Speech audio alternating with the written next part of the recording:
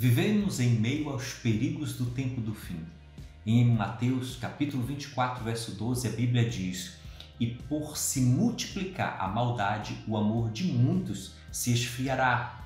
Esse muitos se refere não apenas aos zombadores, aos incrédulos, aos ímpios, quem dera fosse, mas na verdade se refere ao povo de Deus, homens e mulheres que são professos cristãos, que estão dentro da igreja, mas por se afastarem de Deus e por se misturarem e darem espaço para a maldade e iniquidade desse mundo, o amor deles, o verdadeiro amor, o amor que vem do céu, está se esfriando. Sabe?